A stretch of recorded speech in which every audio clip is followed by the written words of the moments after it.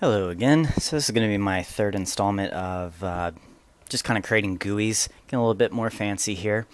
Something I see a lot is people asking about uh, like color pickers, I guess you could call them. People tend to want to have something like this for Photoshop, apps like that, uh, where they can switch between colors a lot faster, especially because uh, you can only view your favorites. So they don't want to have to constantly go into the sub menus to pick those uh, other colors that aren't up there. So I went ahead and made this GUI here real quick. So uh, basically all I did, I just used a, a picture here. For some reason that's not opening. Try that again. There we go.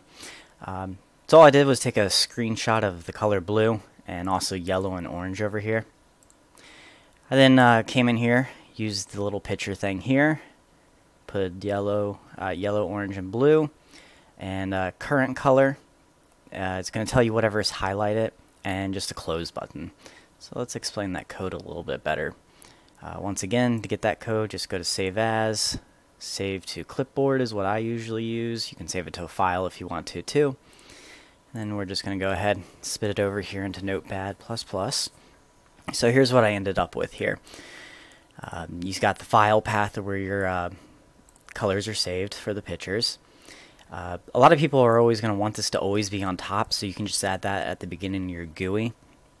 Uh, I kind of explained this a little better in uh, previous videos if you're curious what that really means.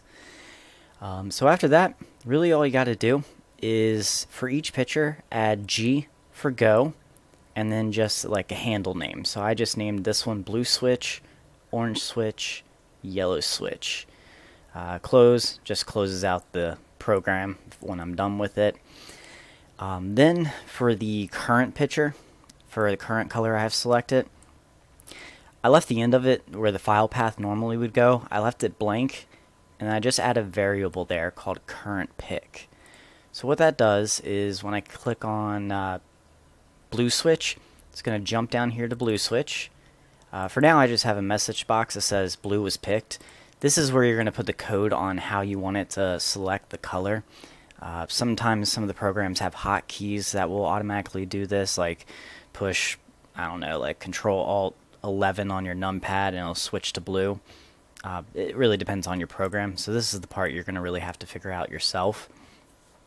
The next thing I want is uh, I'm going to use a GUI control, comma, comma, current pick, which is that variable that's up here, and then the file path of blue. And then I'm just going to duplicate that all for orange and yellow. Obviously, I'm just changing the file path. And yeah, so let's go ahead and see that in action. I'm going to go ahead and launch that. So here's my GUI. Uh, let's say I need to select the color orange. I'm going to click orange. I get that little message box. Orange was picked. Okay. And boom. Now I know that I am currently selecting orange. I'm going to go ahead and switch to blue. Blue was picked, and blue is right there. So this is actually really simple to do. I mean, I just kind of use some simple colors, but you can add a ton. I mean, you could add a whole wheel if you want it, uh, whatever you wanted to do there. Uh, close, once again, just closes out the application, so I'm done, you know, doing whatever work I need to do. Just another thing, uh, under the show at the very end, you can change this. This is going to be the title up here, color picker, just to name it for you. Uh, your coordinates, you can change those. Um, obviously, once you launch it, you can move it to wherever you want. But if you ever want it to always open, say up here at 0, 0, you can just change 0, 0. Or you can actually just get rid of the XY coordinates. Let's go ahead and save that. And that's just going to make it always pop up in the middle um, if there's no coordinates in there. So it's always going to be directly in the middle of your main screen. Alright. So like I said, that one was actually pretty simple, but I see this question being asked all the time. This uh, actually was recommended by a user I found on Reddit. Uh, sorry if you're watching this video, I completely forget what your username was. Um, but I thought this was a really cool idea to touch base with on doing this. Uh, the main reason why is unfortunately uh, you can't really change the uh, color of a button um, just because that is a system setting. Um, you can go into your system settings and you know kind of change how this looks, but you know that's going to apply to every button on there. So unfortunately, you can't have a button that's just blue or orange or yellow. So we just use a clickable picture instead.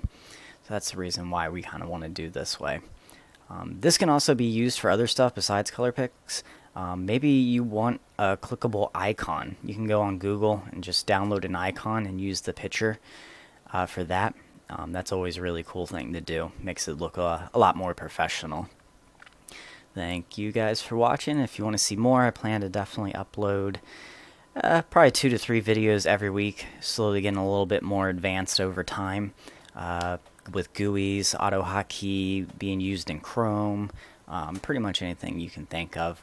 So please subscribe, definitely helps me out. Um, comment if you guys have anything you want to see specifically uh, that might be uh, pretty advanced. I can definitely do videos on that. Alright, thank you guys. See ya.